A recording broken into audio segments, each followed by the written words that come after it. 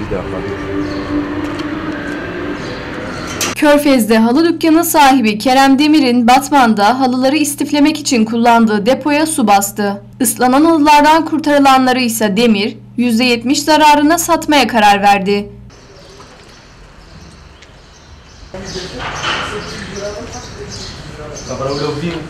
Sabah saatlerinde Körfez'deki dükkana gelen vatandaşlar 5 liraya paspas, 60 liraya yorgan alma fırsatını değerlendirdi. Piyasa değeri 4000 liranın üzerinde olan halılarda 1250 ile 1750 lira arasında alıcı buldu. Onlar burada milletin kullanabilecekleri halıdır.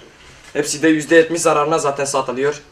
Öyle yani hepsi duvar tarafında. Yerde açık var. %70 indirimde. Milletin kullanabileceği halılardır yani.